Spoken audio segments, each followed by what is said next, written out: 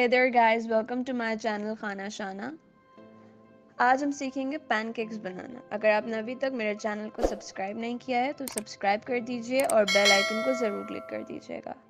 तो चलते हैं इंग्रेडिएंट्स की तरफ़। इंग्रेडिएंट्स में सबसे पहले हमने ली है सूजी यानी सैमोलिना 1.5 टेबलस्पून मैदा हम लेंगे चार टेबलस्पून चीनी हम यहाँ ले रहे हैं six to seven teaspoon egg यानी अंडा हमने एक लिया है।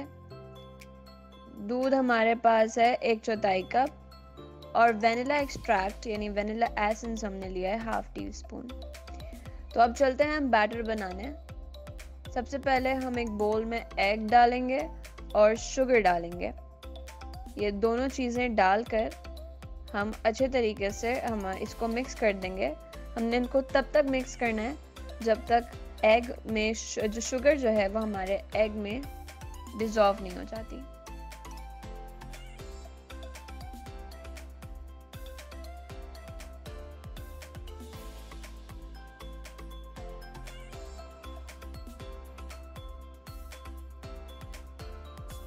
अब जब ये मिक्स हो गया तो मैं इसमें वैनिला एक्सट्रैक्ट ऐड कर रही हूँ।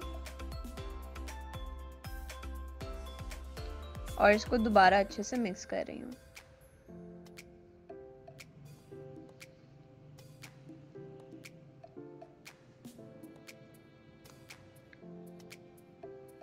जब ये भी अच्छे से मिक्स हो जाए तो हम इसमें ऐड करेंगे मिल्क वन फोर्थ कप जितना, और इसको अच्छे से मिक्स कर देंगे कि सारे इंग्रेडिएंट्स यानी शुगर और वो सब अच्छे से मिक्स हो जाए।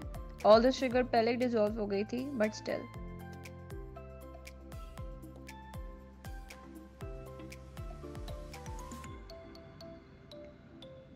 अब बिकॉज़ दूध डालने की वजह से ये बहुत पतला सा हो गया है तो इसको आ, हमें क्योंकि पैनकेक्स के लिए थिक बैटर चाहिए तो हम इसमें अब सूजी ऐड करेंगे। ना सूजी से हमारा ये होगा कि सूजी हमारे पैनकेक्स को स्टिक नहीं करेगी हमारे पैन पे। अदरवाइज़ मेक अगर आपने सूजी नहीं डाली so I can not guarantee maybe वो स्टिक हो जाए। तो सूजी would prevent your pancakes from sticking to the pan अब उसको थिक करने के लिए हम इसमें मैदा ऐड कर रहे हैं।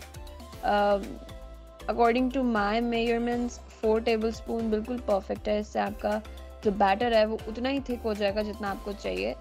बट अगर आपको थोड़ा और थिक चाहिए या थोड़ा कम थिक चाहिए तो आप आगे पीछे थोड़ा सा कर सकते हैं।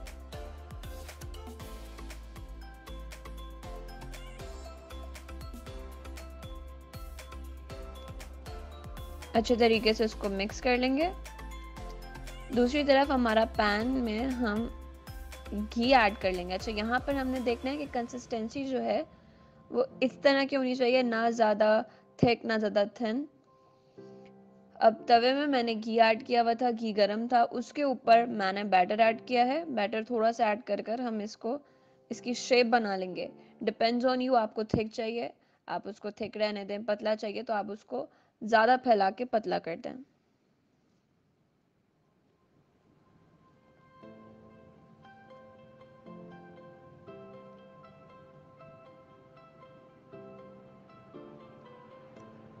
घी थोड़ा सा ऊपर भी डालें एंड फिर इसको हम टर्न कर देंगे।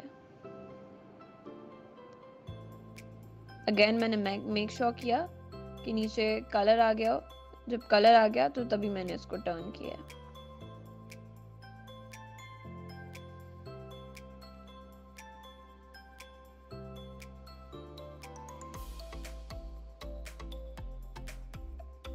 This is so beautiful.